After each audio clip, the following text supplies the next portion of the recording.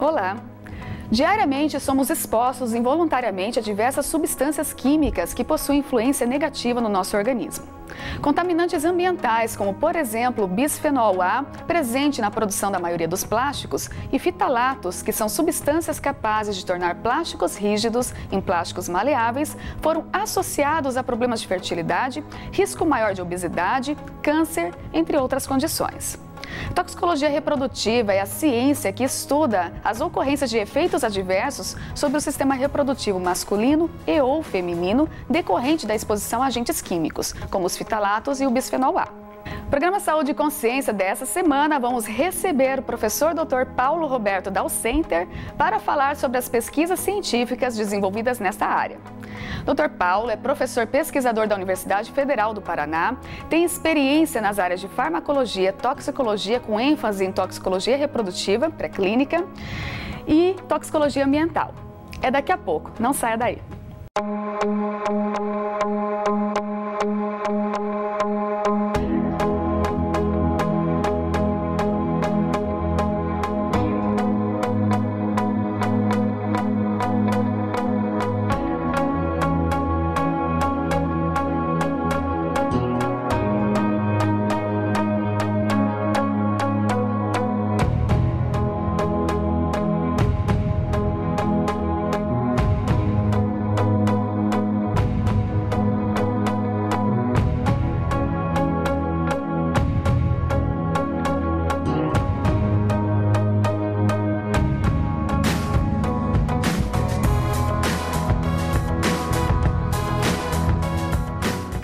de volta com o programa Saúde e Consciência. Em nossos estúdios, o Dr. Paulo Roberto Dalcente, professor pesquisador da Universidade Federal do Paraná.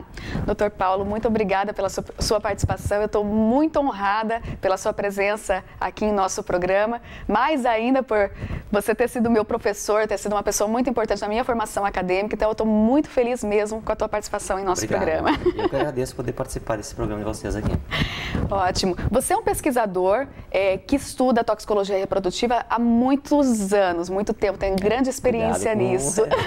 Me deixar velho aqui. É verdade. Mas é, o, o que, que é essa toxicologia, é, toxicologia reprodutiva? O que, que isso estuda, né, para o pessoal que está em casa entender um pouco melhor? Bom, a toxicologia reprodutiva envolve vários ambientes, né? A gente tem uma linha específica que vincula uma possível exposição na gestação e os possíveis efeitos desta exposição na gestação no descendente, no filhote, em animais. Em modelos ou, animais. É, ou extrapolando para o bebê em seres humanos. Então, nós temos várias condições que podem ser interferentes no desenvolvimento normal de uma gestação, por exemplo. E aí, como você citou no início, nós temos o bisfenol A como modelo, por exemplo, osftalatos como outro modelo, mas temos vários elementos. Eu posso citar os pesticidas que a gente está consumindo diariamente.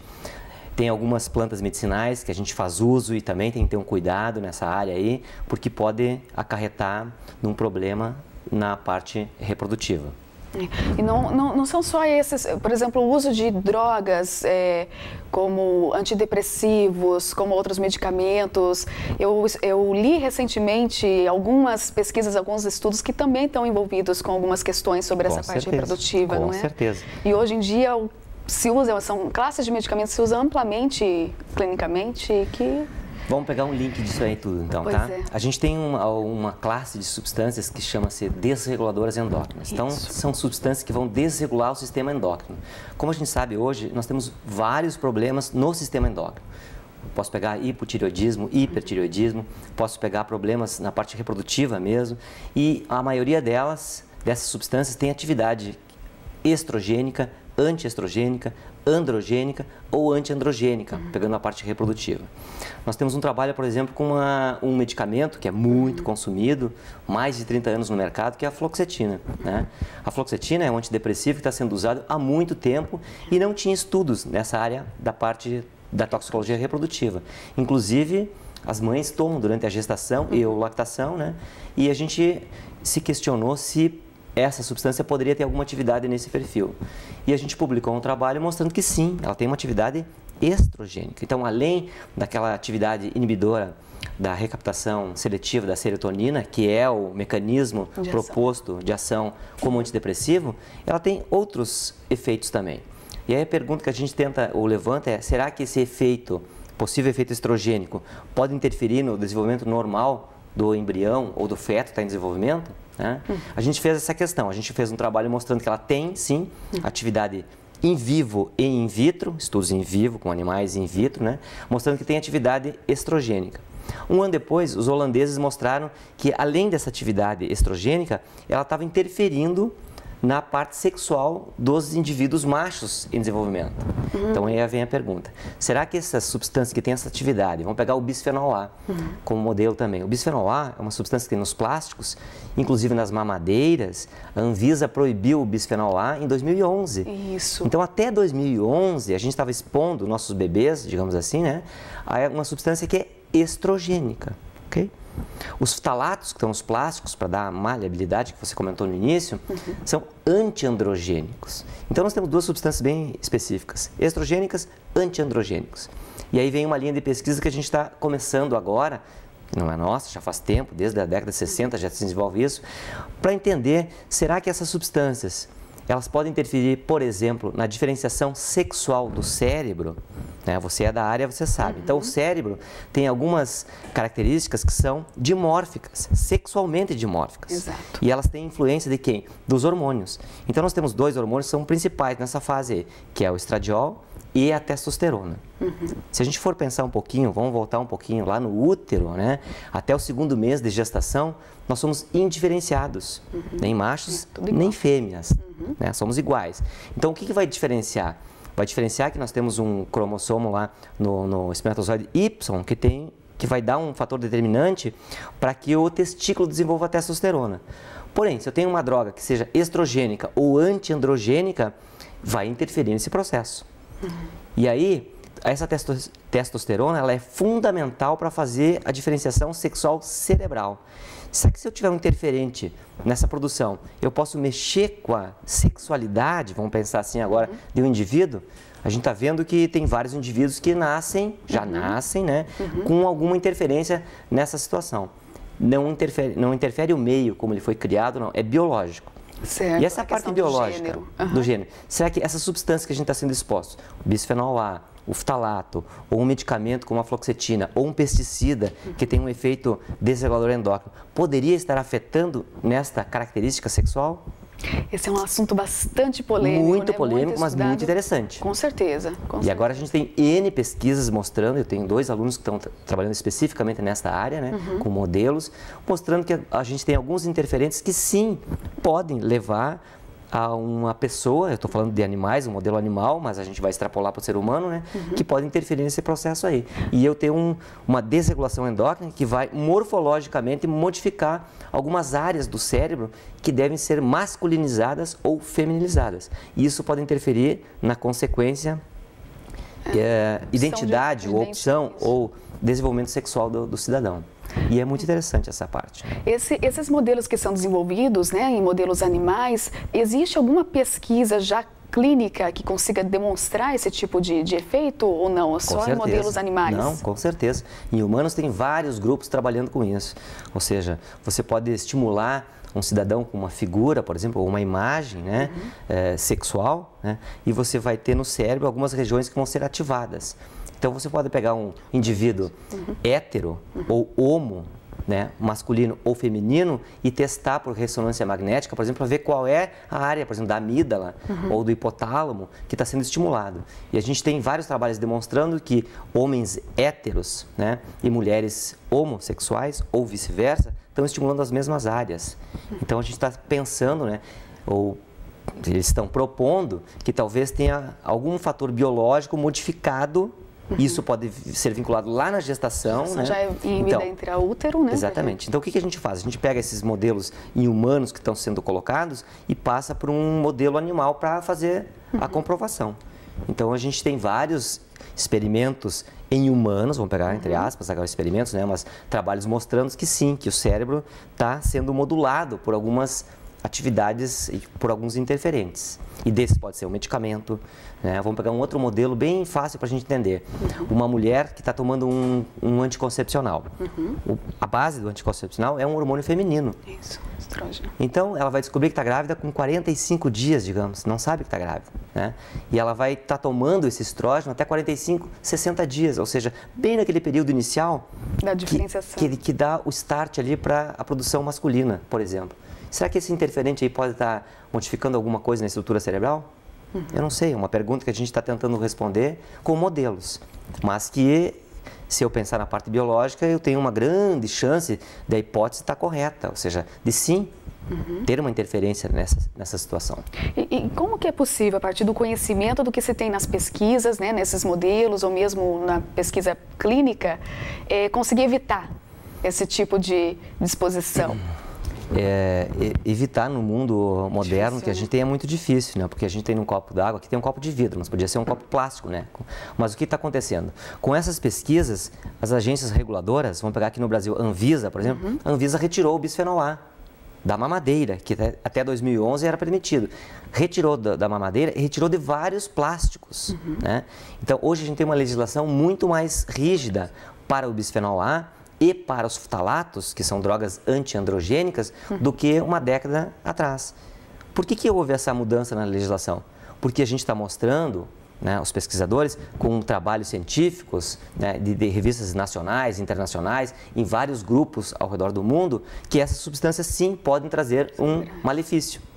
Então, a partir daí, essas agências reguladoras modificam a sua avaliação e várias substâncias são retiradas de comercialização. Nós temos um exemplo concreto aqui: o Brasil está retirando 14 pesticidas usados na lavoura porque foi demonstrado através de várias pesquisas que eles causam um malefício maior, talvez, do que o benefício. Eles né? são acumulativos, por exemplo, ele faz esse malefício para quem está aplicando, mesmo com paramentação, ou, ou, depois a gente consumindo isso? Para o todo. Todos. Todos. Todos nós estamos implicados no processo, porque a gente, a Anvisa está mostrando, a Anvisa tem um programa muito interessante, que é o PARA, Programa de Análise de Resíduos de Agrotóxicos em Alimentos. Desde 2001, a Anvisa publica no seu site, é público, né, uhum. o resultado do PARA, se a gente for lá e clicar no Paraná, a gente vai ver lá que a gente está consumindo vários pesticidas acima do limite máximo permitido.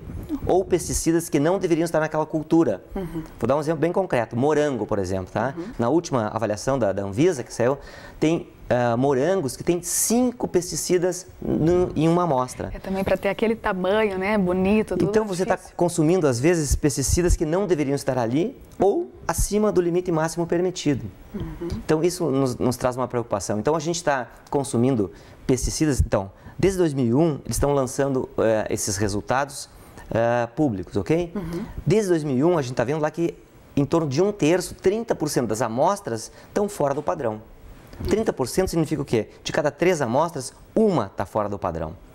E aí a gente fica se perguntando, fora do padrão para quem? Aí eu pego uma grávida como modelo, que é a nossa linha de pesquisa, uhum. né, que na gestação a gente procura comer mais legumes, frutas, verduras e, e tá talvez... talvez pior do que se estivesse Exatamente. com um alimento industrializado. Então talvez eu tenha, eu, eu, essas mães né, estão expondo seus bebês lá a uma quantidade maior de pesticidas do que deveriam.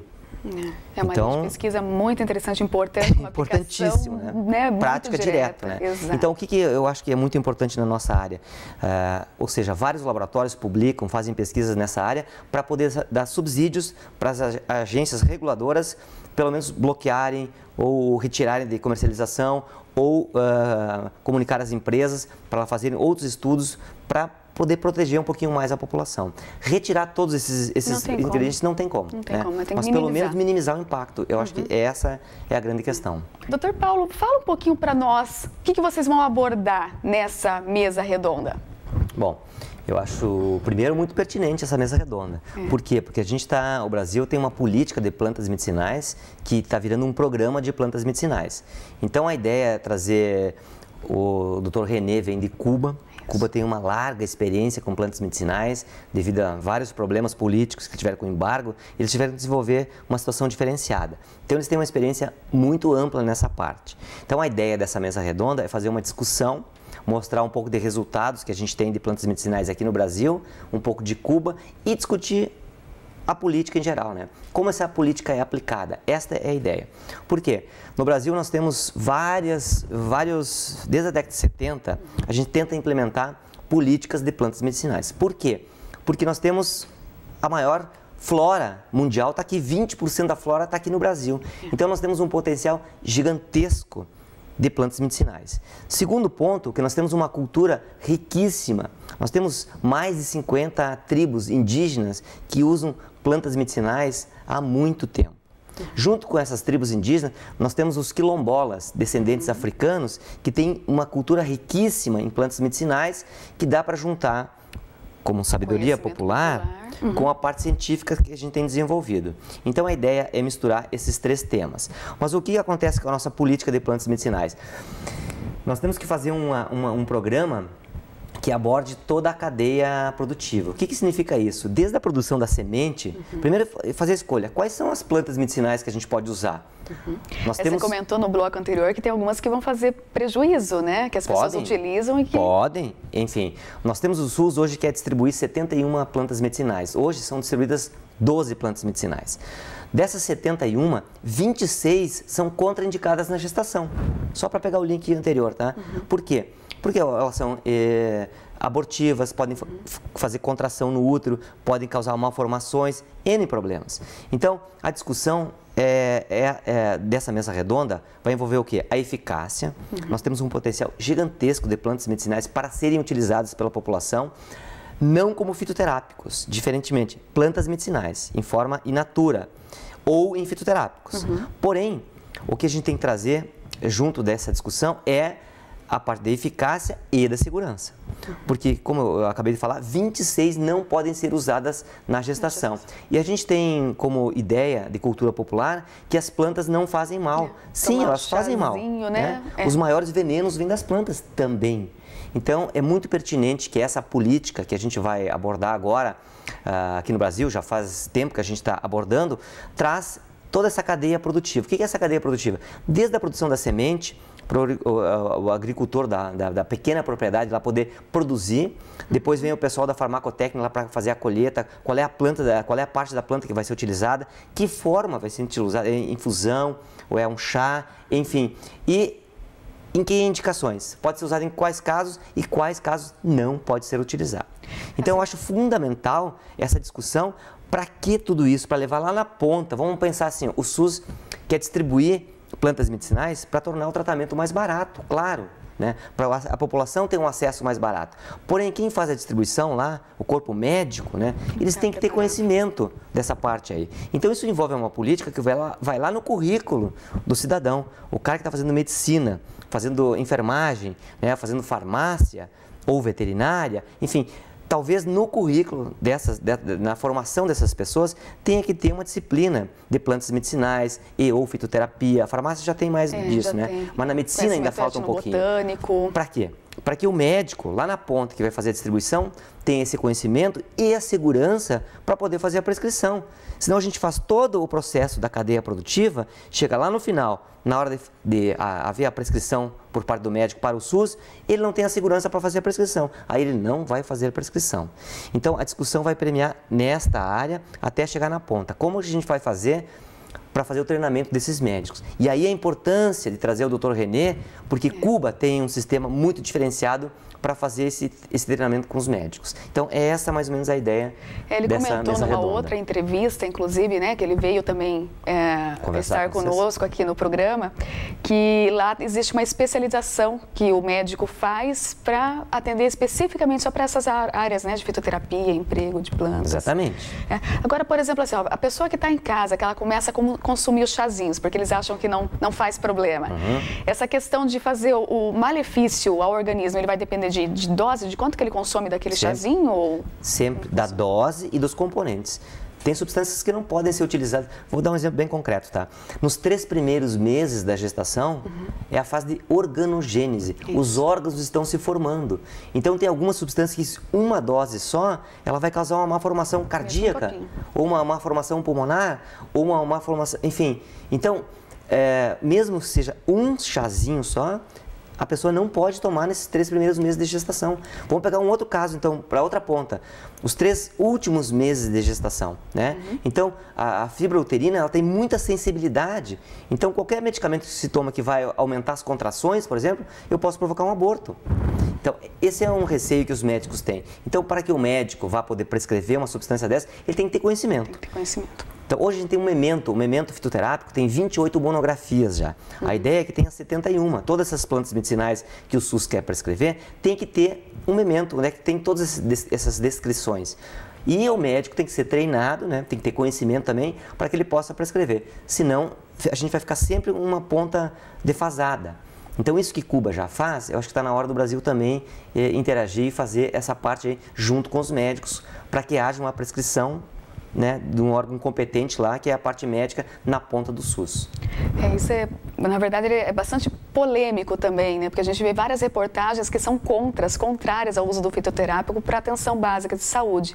E é um retrocesso, né, porque a gente tem essa flora, essa diversidade tão grande que eu acho. Só que eu, eu acho a, a, o que está dificultando a aderência de muitos órgãos e muitos profissionais justamente é a falta de conhecimento. Exato. Então, a partir do momento que tu tem o conhecimento científico, nós temos o saber popular, tá? Uhum. que ele sabe a indicação. Aí você vai lá para o lado científico, faz teste de eficácia, uhum. pré-clínico com uhum. animais, depois clínico com seres humanos, eficácia e segurança. E tu traz à tona esses resultados, publica os resultados. Isso sai numa monografia. E tu faz o treinamento com pessoas competentes, aí um pouquinho disso eu acho vai, vai, vai, vai sumir um pouquinho, vai desaparecer essa, essa dificuldade, sabe? É. Mas eu acho que importantíssimo é a gente fazer todo esse processo correto e cientificamente amparado. Uhum. Senão, lá na ponta, o médico não vai fazer a prescrição. É, e essa é a proposta de programas novos que foram aprovados pela CAPES, né, do, do Estrito Senso, um que está sendo ofertado pela Universidade Paranaense, é, que é estudar exatamente, especificamente, né, essas plantas medicinais, esses produtos. E eu acho que tem um potencial gigantesco, sabe? É. Porque nós temos uma flora riquíssima, muitos produtos vão ser, surgir ainda, né? A gente, a gente tem 71 plantas, mas quantas tem potencial que a gente ainda não estudou, né? Mas pelo menos se a gente tiver essas 71 plantas, tá? com indicações terapêuticas, que o SUS possa prescrever, barateando o custo para o, o consumidor final, uhum. eu acho que vai ser um ganho enorme. Porque eu vejo outra questão também muito importante. Claro que esse programa também, ele visa o quê? Fortalecimento das empresas nacionais em desenvolver a partir de uma planta medicinal, um produto final, que é o fitoterápico, que é diferente, né? Isso. Um produto eh, fitoterápico tem uma Isso. formulação, passou por vários testes, só que nós temos que ter uh, competitividade. O que eu quero dizer com isso? Esse produto final aqui, que virou um fitoterápico, ele tem que ter uma competir com o produto que já está no mercado uhum. com um preço abaixo. Senão também não vai ter uh, competitividade. Eu vou produzir um. Eu tenho um produto no mercado, um químico, que custa 40 reais. Uhum. Eu vou fazer um fitoterápico, a base de uma planta que custa 40 ou 45 difícil, então eu tenho, eu tenho, que trazer esse produto para o mercado com um preço abaixo. E o efeito, o efeito e benefício que ele gera no, no, humano, ele tem que ser semelhante, né? Porque senão também não vai justificar o uso do, com do certeza, Tem com que certeza. ser semelhante, pelo menos, ou, ou melhor. Ou melhor. É. Não, mas no mínimo tem a no mesma mínimo, eficácia mesma que o produto que já está no mercado. justifica né? a troca daí. Isso. É. Então, então nós temos duas coisas que eu acho que tem que ser discutidas. Primeira é essa parte da da industrialização e, uhum. e, tornar um produto um fitoterápico, mas ele tem que ser competitivo. Ele não pode ter um preço mais alto. É, assim, isso já seria lá naquela cadeia final, mas tem o, o, o anterior também, a cadeia produtiva, né? Ter as comunidades então, que na façam... minha concepção, eu acho muito importante é fazer a cadeia produtiva e trazer para o consumidor a planta medicinal. Uhum. Porque o produto acabado a gente já tem no mercado. Isso. A gente já tem ele, né? Não a base de planta. Então, trazer a planta medicinal para o, o consumidor a um preço muito baixo. É. E aí você envolve toda a cadeia produtiva, desde o, a, o, a pessoa que tá, o produtor lá, que vai plantar, o pessoal da farmacotécnica vai colher, vai fazer o produto, vai chegar numa farmácia e nessa farmácia você vai, vai ter o produto como planta medicinal e atrás todas as informações pertinentes, indicações, contraindicações, como usar, quanto usar, né? para que, que serve aquela, aquele forma produto, de forma de preparo, tudo isso. Uhum. E aí eu acho que a coisa Anda. vai ter um, um perfil mais adequado para a população. E é isso que a gente espera. E é, é nisso que eu acredito nessa política.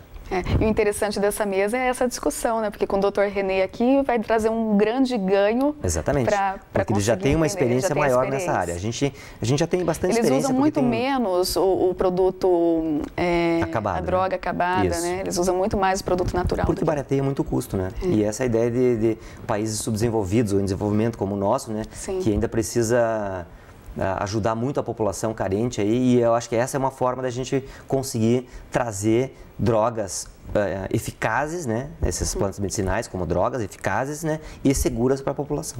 E essa, essa discussão que ela é feita, ela envolve vários pesquisadores no Brasil todo, não é? Com certeza, e, muita e você, gente você trabalha faz parte com disso medicinais. Também, ou não? Eu trabalho, é, eu trabalho com um, um, grupo que trabalha na área de segurança. Como eu trabalho com gestação e a maioria de pesquisa é drogas na gestação, as plantas medicinais também entram nesse perfil, né? Elas entram como outras quaisquer, ou seja, a planta medicinal também pode trazer um malefício. Uhum. Então, a nossa área estuda os possíveis efeitos tóxicos, né, vamos botar uhum. assim, né, dessas plantas medicinais num período crítico de desenvolvimento, que é a gestação.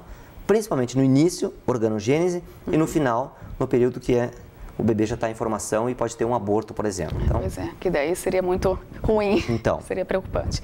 E daí, no caso do bebezinho, o bebezinho nascido também, ele, a, mãe tem costume, as avós, né, de dar os chazinhos, vários chazinhos para essa criança. Como que isso vai influenciar também no bebezinho? Da mesma forma. Da porque, mesma forma. Uh, vai estar tá passando tudo pelo leite, né? Então, uhum. quando a, a, amamentação... Então, a gente tem uh, duas etapas bem importantes, né? Drogas que não são indicadas na gestação e na lactação. Uhum. Mas tem um outro lado também. Tem drogas que são indicadas na lactação, para aumentar o leite uhum. ou para como calmante para os bebês, e as vovós sabem muito bem disso, né? Uhum. Então nós temos os dois lados da moeda. Então a preocupação sempre é, é estudar a eficácia das plantas, mostrando onde que elas podem ser indicadas e ao mesmo tempo a parte de segurança.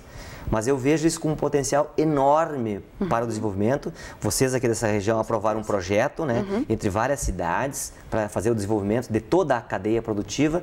E eu acredito muito nesse sistema, uhum. muito, porque eu acho que só esse sistema que vai fazer com que todas as partes trabalhem e é o conjunto da obra que vai trazer o resultado, um, um resultado final para a comunidade, que é o foco principal, ou seja, trazer um benefício para a comunidade. Isso mesmo. E nesse aspecto eu parabenizo vocês, porque vocês têm um trabalho muito interessante aqui envolvendo as comunidades. Isso mesmo. O programa está chegando ao fim, eu agradeço imensamente sua participação, pelo partilhar do conhecimento, né, de deixar claro isso para a comunidade. Muito obrigada, doutor Paulo, pela vinda, eu por estar aqui conosco. a oportunidade de estar com vocês aqui. A você que nos assiste, eu agradeço a sua audiência. Até a próxima.